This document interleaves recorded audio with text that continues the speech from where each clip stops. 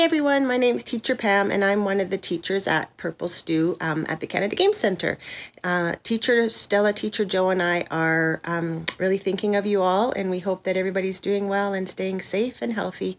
We miss all our little Purple Stew friends and we know that it's hard staying at home but we're trying to find ways to make that a little more fun and so we've decided that we would show you a little video on how to do a really fun craft at home. You can do it with your mom or your dad or your sisters and brothers. You can all do it together and it's really, really simple, but you can have lots of fun with it.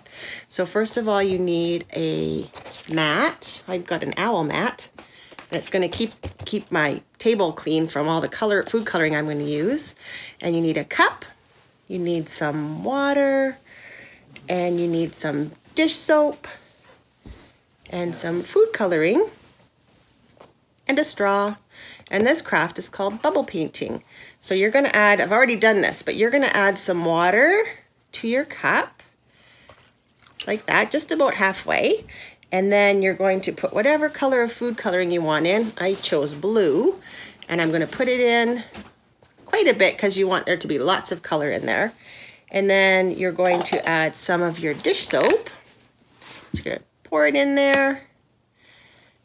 And then you're gonna give it a little stir. Don't stir too hard because then you'll make lots of bubbles and you don't want the bubbles to come up yet. So you're gonna just stir that up.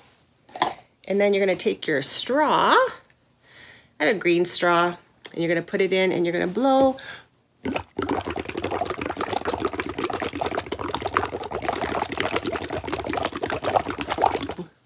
till all those bubbles come up to the top and you're going to get a piece of paper. And just on top of those bubbles you're going to gently press don't press too hard because you kind of want the bubbles to pop on the paper. You're to press press it down and then when you lift the paper off you have some bubbles and look at the cool little pattern it made. Isn't that neat? And then you can do it again and you can even use more than one color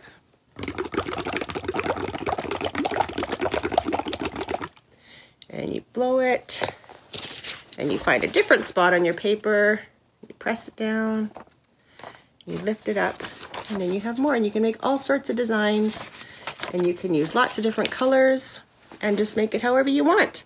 Remember not to suck up through the straw like you would if you were drinking something because then you'll get soap in your mouth and that doesn't taste very good.